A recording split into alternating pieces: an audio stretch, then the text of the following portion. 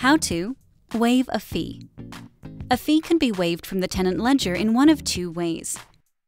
Using the Waive Fee button at the top of the ledger or using the black pull-down arrow on the individual fee line item.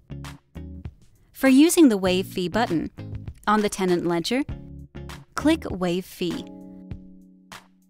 A pop-up window will appear.